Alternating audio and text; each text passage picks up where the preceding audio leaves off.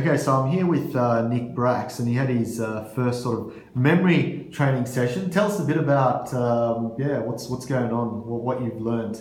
So I've learned. Um, I'm, I'm trying to learn how to how to really uh, associate you know imagery with with um, the acting that I'm doing. i have been uh, pursuing acting for a while, and I really want to become ha- have more association with the scene and be able to really see images.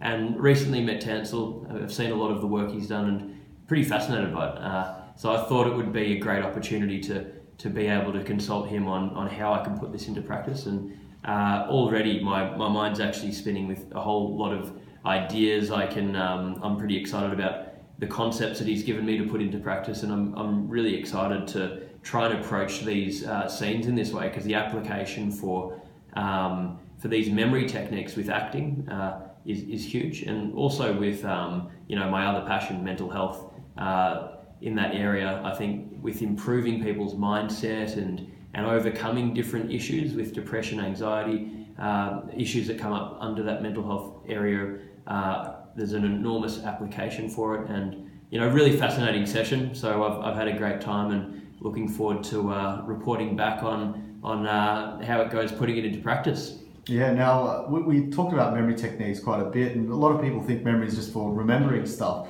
And we've done you know, a bit of recording. Uh, just from your experience, uh, how have you found memory for you know mental health and you know what you were just talking about now?